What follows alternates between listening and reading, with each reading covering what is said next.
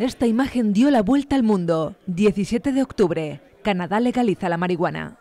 México ya ha anunciado que podría seguir el ejemplo canadiense. El primer país en regularizar el cannabis fue Uruguay. Lo hizo con una ley en diciembre del 2013. ¿Estamos dando paso para sacarle un negocio al narcotráfico? Sí. ¿Esto significa que son golpes demoledores? En principio no. Israel, Croacia o Alemania han regularizado el uso terapéutico del cannabis. En España el debate está en la calle. La gente lo consume ya muy habitual, como un consumo habitual, y si lo legalizaran es que iría todo mayor. El que lo hace, lo hace quiera o no quiera. Me parece que no es bueno para para nadie. Legalizado, menos crímenes habrá y mucho mejor. Podemos presentará una ley en el 2019 para legalizar el cannabis.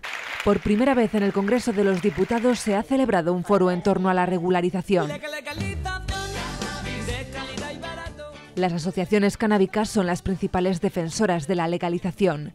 En España hay más de mil. Que somos personas que usamos cannabis en nuestra vida cotidiana y porque lo hemos elegido así, después de tener una información y de conocer la sustancia y creemos que esa criminalización es injusta, tanto en los recreativos como en los terapéuticos. En los terapéuticos ya es cuestión de derechos humanos. Antonio padece desde los 7 años jaquecas crónicas. A los 71 ha conseguido reducirlas con tintura de cannabis. Esto es como un complemento.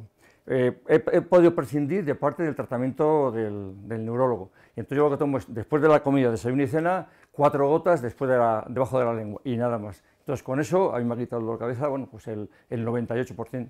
De forma terapéutica lo utiliza también Tere. Tiene neuralgia del trigémino, una enfermedad que le provoca intensos dolores. Ha conseguido que la receten este medicamento con extracto de cannabis. Antes consumía infusiones de marihuana. Pero teníamos miedo salir de casa, hasta venir aquí daba miedo. Porque si llevábamos 10 gramos y te paran ahí que había muchos controles porque en España el consumo, cultivo y posesión del cannabis es ilegal. Se considera una droga blanda. Su tráfico conlleva una pena de 1 a 3 años de prisión. Tú puedes tener para tu propio consumo, que estaríamos hablando de unos 100 gramos. Lo hay que mirar las circunstancias concretas del caso. Yo puedo tener 100 gramos, pero si la policía me está investigando, hay intervenciones telefónicas, hay un seguimiento y ve que yo estoy menudeando, trapicheando, como se dice coloquialmente, 100 gramos sí que podría conllevar una pena. Solo en el 2018 en Valladolid la policía ha incautado más de 2.500 plantas.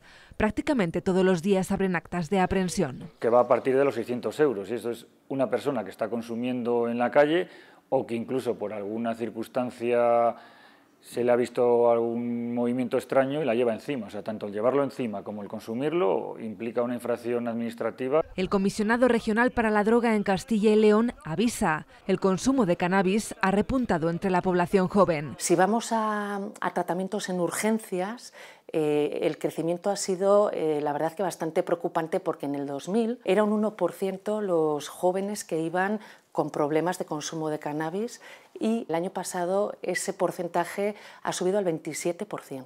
¿eh? que van a urgencias con alguna consecuencia evidentemente nefasta para la, salud, para la salud. Los toxicólogos vinculan el consumo crónico con la dependencia, los problemas de concentración e incluso los trastornos psicóticos. Un mayor incremento del número de infartos, por un lado, infartos de miocardio, o bien síndrome coronario agudo, y del número de ictus.